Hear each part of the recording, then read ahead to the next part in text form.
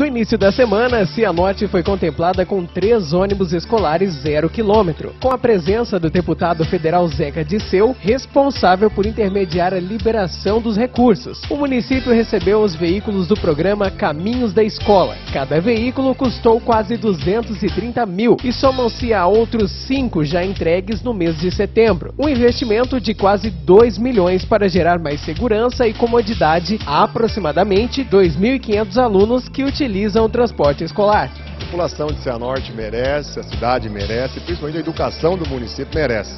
A educação de Cianorte hoje é muito bem conduzida, a Secretaria de Educação tem uma boa equipe técnica, tem conseguido cumprir prazos, critérios, normas do governo federal.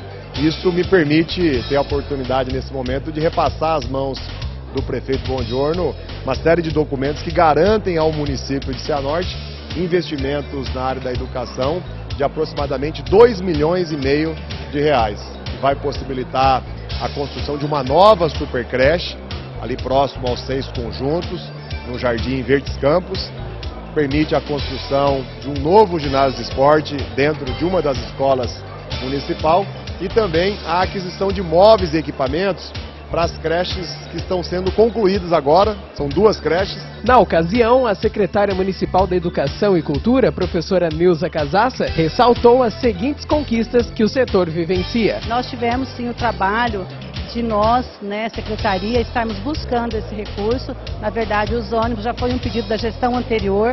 Nós, prefeito Bongiorno, nós, secretarias, fortalecendo junto ao deputado Zeca e esse é, hoje está concretizando esse sonho, né? Esses ônibus estarão implementando, aumentando, né, a qualidade do nosso transporte escolar, bem como também a gente vai, vai acontecer a substituição de alguns que já estão mais velhos, né? É necessário que se faça isso também. O prefeito Bongiorno celebrou não somente a conquista para o transporte escolar, mas o cenário vivenciado atualmente pelo município de Cianorte. Desde o início do ano, nós tínhamos um compromisso do governo federal em nos ceder nove ônibus.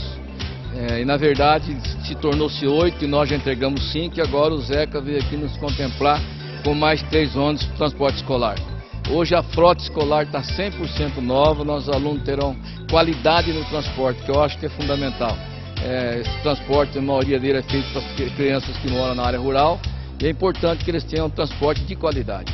Então nessa, nesse momento a gente quer agradecer o Zeca, né, o governo federal, a nossa secretária de Educação, é, que tem empenhado muito. Nós tivemos ido a Brasília também, sempre fomos muito atendidos pela, pela secretaria do, do Zeca Liceu, o próprio Zeca tem nos acompanhado. E o fruto do trabalho sério, honesto e verdadeiro, nós acabamos de ver agora, que é de fato a entrega dos ônibus.